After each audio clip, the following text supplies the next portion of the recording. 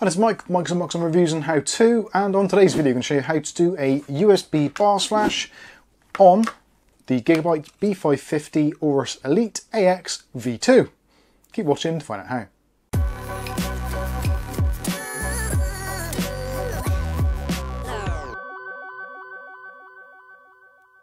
Okay, so in today's video I'm going to show you how to do a USB BIOS flash without having a CPU or any other components actually on your motherboard.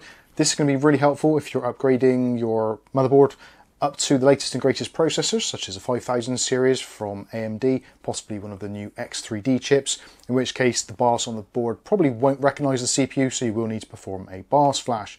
Also, if your motherboard's uh, gone a little bit haywire and is doing some weird things and you just want to start again with a fresh BIOS, this is a very good way of doing it. Now, there are going to be some things you are going to require to do this.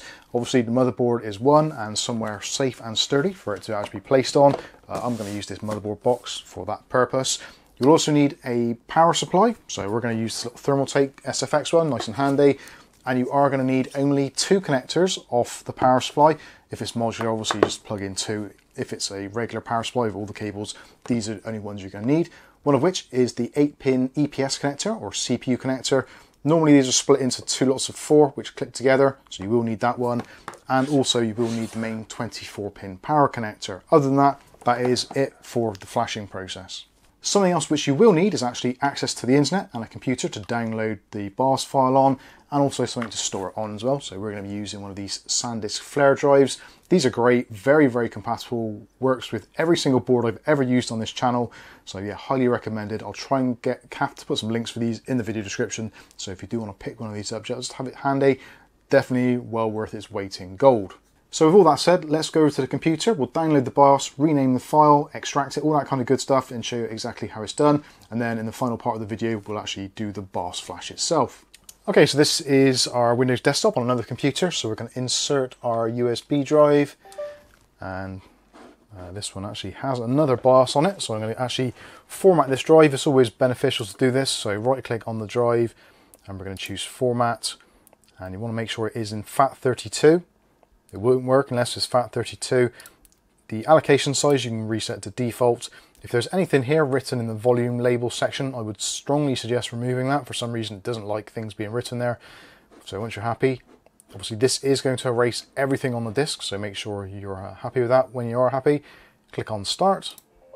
You'll get the warning come up to say that this will erase all data. Are you really sure? So click OK if you are. Shouldn't take very long at all, and it'll say the format is complete. So that is our drive prepared. Now, if for some reason your drive is in the GPT format rather than being MBR, I would strongly suggest changing that as well. We've done a separate video on that. I'll try and link that in the video description as well, should you be experiencing any problems. Assuming everything is all good, we'll go now and get the BIOS file. So open up your web browser and type in the name of your board, or you can use the links in the video description We'll go over to the website here from Gigabyte. Now something which is really important on these boards is to make sure you get the right revision. Now if you're not sure which revision your motherboard is, if you look down in this bottom corner by the audio chipset, the revision number will be stamped on there. It'll be like Rev 1.1 or 1.4 or whatever it is. And if you've still got the original box, it should be printed on there as well. But if you look on the screen printing down in this corner, you should see it very clearly. Now, our particular instance, we're using a Rev 1.1 board. So we're going to click on here and change to the correct revision. Now we're going to head over to the support tab over here. And now we've got options for things like CPU support. So if you're not sure which BIOS you need, then you can have a look through and see the ones which are available, find your processor, etc. But realistically, probably the best thing to do is actually go with the latest one, which will also have security fixes and things like that. So head over to this BIOS section, and you can see here various versions available. So there's been a few uh, beta ones. You can tell the beta ones because they have a A on the end or C or whatever, rather than being F16 or F15. They don't specifically say it is a beta, but it generally is if it's got that on the end. So the latest one we've got available is from the 23rd of the 3rd, 2023. I think the one which is on the board, at least what I've been told, is uh, either F16A or F16, so it is an older one. But we do want to have support for the 5800X 3D, which we're going to be putting on this board. So we're going to download this BIOS. So click on the download section here, and it will open up in this window. Choose a location. I'm going to do it to the desktop just because it's nice and easy to do that. So click on save and then we can minimize this window because that's being done in the background. And by the time you close it, you should find that the zip folder is going to be in your download location. As I said, for this instance, we're using the desktop. So what we want to do, because this is a zipped file, I'm going to right click on it, I'm going to choose extract all, and we're going to extract it to the same location. So just click on extract there. And now we've got a new folder with our files in. Now with this, we do need to rename the file. So that is actually very important to do because the system itself doesn't have the intelligence or the necessary kind of processing power to look at this file and go, oh yeah, excellent, that's a BIOS file, I'll flash it. So what you need to do is to rename the file. If you can't see the file extension here, you do need to go to view and go to file name extensions, just make sure those are enabled. So we're going to rename this now. Now you don't have to do this in uppercase or lowercase, it doesn't really make a great deal of difference, but it does have to be the right name. So it's going to be gigabyte.rom. Sorry, gigabyte.bin, my mistake. It should be a bin file.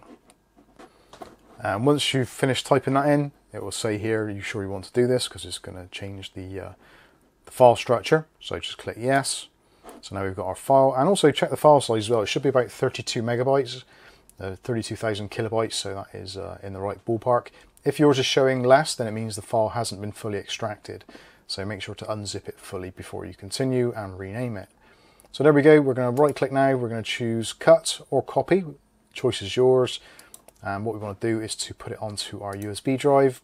So we're to right click on there and choose paste. You can use the send to command if you want to, the choice is entirely up to you. But that is it. So this part is done, so now let's head over to the computer and we'll start the flashing process. Obviously, you do need to remove the drive from this computer now to take it to your motherboard. So now we're ready to start the flashing process and I've gone ahead and got the motherboard onto our box here and I've connected up the power supply to the mains. It's not switched on, but it is connected up.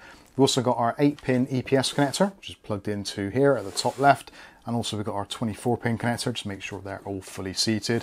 Now this is the question I get asked quite a lot actually all the time, do you need to rename the file and does the motherboard have to be completely bare? The answer to the first one is yes, you do have to rename the file, otherwise your system just will not be able to recognize it. It doesn't know what to do with the file, so it won't flash. So you do have to do that part. That is extremely important. The next part, does the motherboard have to be bare? Well, not entirely. For me personally, I think that it's best if you can do it on a bare board. That way, if for some reason the flash process doesn't work, you've obviously got a limited set of components which can be causing the problem. Is it going to be the motherboard? Is it the USB stick? Whereas if you've got other components attached, your graphics card, your RAM, CPU, etc., one of those could be doing it. You'd never know. And especially if you've got a non-working system to begin with, it's very hard to diagnose these things. So ideally, if you can, get it down to a bare board and ideally actually out of the case because you never know, it could be your power button which is faulty, which is in the, stuck in the kind of pressed down position, in which case the motherboard is going to, going to be in a constant reset state. Same actually goes for the reset button. So if your reset button is broken or in the kind of pushed in state, your motherboard thinks that you're pressing the reset button, so it won't do anything. So these are things which you can obviously eliminate from your diagnostic work. You don't have to if you've built the system and you're expecting it to work and it hasn't, and you've then gone onto YouTube to find out why it's not working, and then you've realized you need a BIOS flash, then I completely understand where you're coming from. My suggestion would be if you can, remove something which is simple. So if you don't have thermal paste and you can't remove your CPU and cooler, just remove the things which are really easy to do. Remove your RAM sticks, pretty straightforward and easy to do if you can get hold of them. GPU, obviously not as easy, but certainly you don't have to do any paste or anything like that. Uh, potentially unplugging the I.O. You can just try it straight away, but like I said, ideally, the less things on the board to kind of go wrong or to add to the complexity, that is best. Anyway, with all that said, let's get the, uh, the USB flash. So we're going to plug this into the USB port. It does have to be in the right one as well. It does say on there BIOS next to it, so make sure you plug it into the correct ports. When you're ready, turn on your power supply and you should find that your board doesn't try and power up.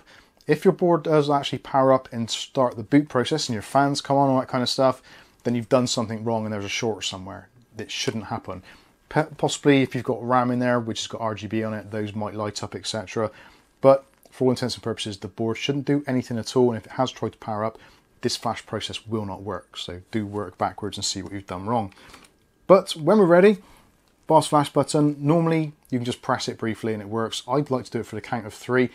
I don't know why, it's just something that I've always done. So press and hold. So one, two, three, and then release. And then we're looking for, there's a little LED at the bottom there, which hopefully is shining through on the camera. Yep, I can see that there. Now what you want to be looking for is for that to be changing speeds. This whole process should take somewhere in the region about five to six minutes. Uh, currently it is 22, so we'll see how long that takes. But you're looking for that to actually change speeds. If it flashes about five or six times and then stops or goes solid, that means that either it can't read the file, the file is incorrect, or it doesn't like the USB drive. So again, back to your diagnostic processes, make sure you've got the right file, make sure you've got the right revision for your motherboard. Again, checking that bottom corner, it's just down here. This one says clearly Rev 1.1. Don't rely on the motherboard box because potentially it might not be in the right box if it's been purchased secondhand or whatever. So always look on the motherboard itself. This one says Rev 1.1. So if I put a BIOS from Rev 1.4, chances are it's going to throw up an error. But at the moment, it seems to be doing what it needs to do. The light is still flashing away there, so we're going to let it carry on, do its own thing. And ideally, if you can, kind of set some sort of timer for about five or six minutes. If it goes over six, seven, maybe eight minutes, then something has gone wrong. And especially if the actual light itself hasn't finished doing whatever it needs to do. Some of the BIOSes actually are really quick as well, so it seems in this instance, I think it's, yeah, the fan has just kicked in on the power supply, so now the speed has changed there. So it's gone from the reading state, where it's actually kind of initializing the system, to now it's got to the kind of flashing state, so we've got a slightly slower flashing LED there. Potentially after it's done that, it may go fast again and then turn off. Not entirely sure, but we'll, uh, we'll let it carry on, do its thing, and we'll come back when it's finished.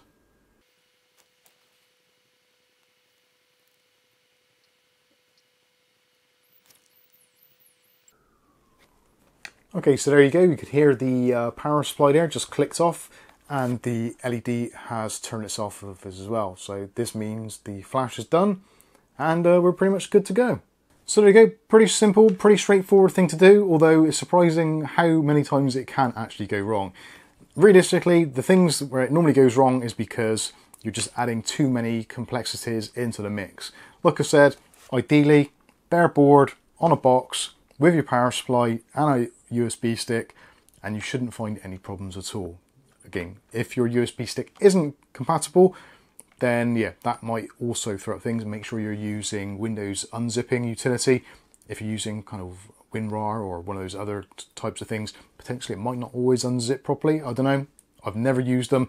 I always try and use the one which is built into Windows, which does appear to work much better. And also for those of you that are slightly confused, thinking, what is this on the here? Yes, it isn't the box for the motherboard. So don't get the two confused. This is for the B550 Aorus Elite AX V2, not the B660 Aorus Master. So just to clarify that in case there's going to be questions in the comment section, of which I do invite. So if you have got any comments or questions on this video, let us know in that comment section. If you need quicker responses, then head over to our Discord chat and uh, we'll be happy to help you, or at least try to uh, go through the diagnostic processes with you. I think that's going to pretty much wrap this one up. I've been Mike. This is Mike's Unboxing Reviews and How To, and hopefully we'll catch you in the very next video. Thanks for watching.